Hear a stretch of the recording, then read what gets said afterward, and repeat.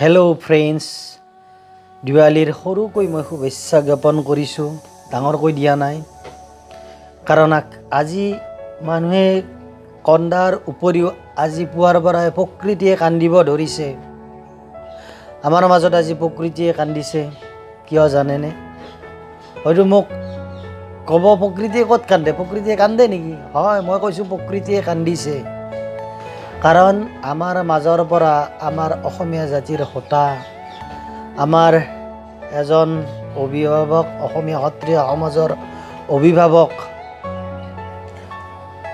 বৈশিষ্ট্য দেৱ শৰ্মা ডাঙৰীয়া আমাৰ মাজৰ পৰা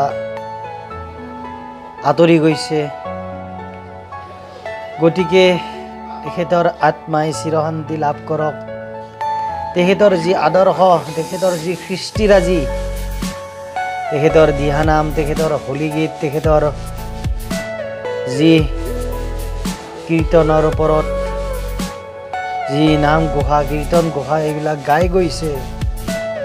আজি আমি চিৰঋণী হৈ থাকিম তেখেতৰ পৰা। আমি বহুত কথাই শিকি গ'লোঁ।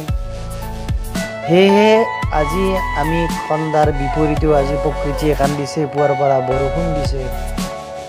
গতিকে এই দেৱালীৰ সময়ত আমি আমাৰ মন বিষাদেৰে ভৰি আছে পুৱাৰ পৰাই মই কান্দিছোঁ মই মোৰ নিজৰ হোম থিয়েটাৰত তেখেতৰ দিহানাম তেখেতৰ হোলী গীত পুৱাৰ পৰা বজাই আছোঁ নাম কীৰ্তন বজাই আছোঁ তেখেতৰ আত্মাই চিৰশান্তি লাভ কৰক তেখেত আমাৰ মাজত সদায় থাকিব।